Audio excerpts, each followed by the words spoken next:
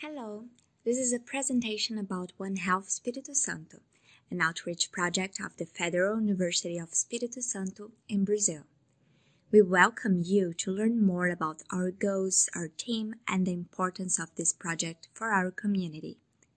Our main goal is to disseminate information to the population about One Health.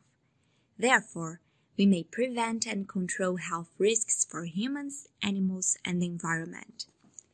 We are very proud of having a diverse group involving undergrads, grads, professors, professionals, and all those interested in this team.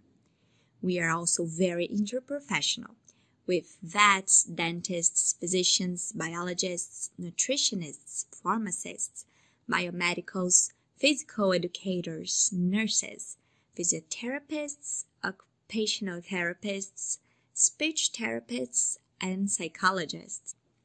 In order to disseminate information about One Health, we use social media.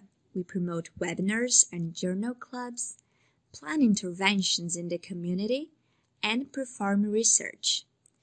But uh, why is One Health so crucial in our state? Well, the state of Espírito Santo is located in the southeastern region of Brazil.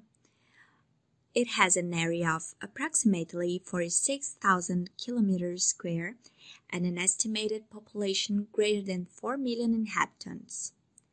Despite being a state with a small territory and population, given the dimensions of Brazil, Espírito Santo is the Brazilian state that produces the most granite, papaya, and black pepper. Also, it is the second largest producer of eggs and coffee and the third largest producer of cocoa. Espírito Santo also, Santo also stands out for having the greatest Brazilian marine biodiversity, emphasizing Guarapari, also famous for its monazitic sands.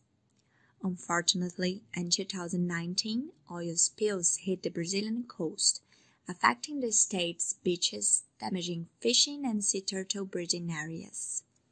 The Doce River which bathes 26 municipalities in Espírito Santo and flows into the Regência Sea, was in 2015 severely affected by the rupture of the ore dam in Mariana, Minas Gerais, generating significant environmental, social, and economic impacts.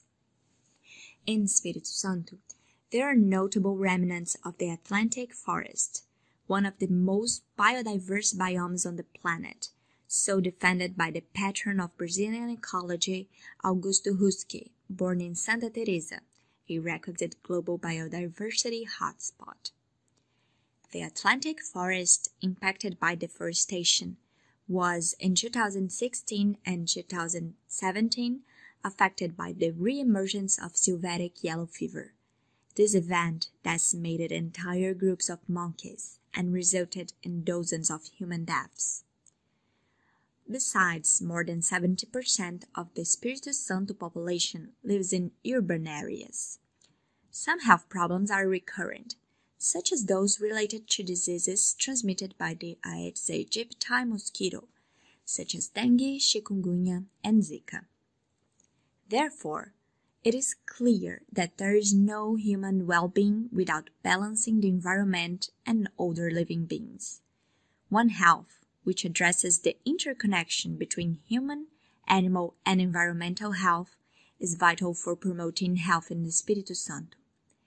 Given its unique characteristics, our state has excellent potential to contribute to the world's One Health, helping to promote a better world for the living beings on the planet. One Health Espírito Santo is here to support actions aiming to reach this objective. Thank you.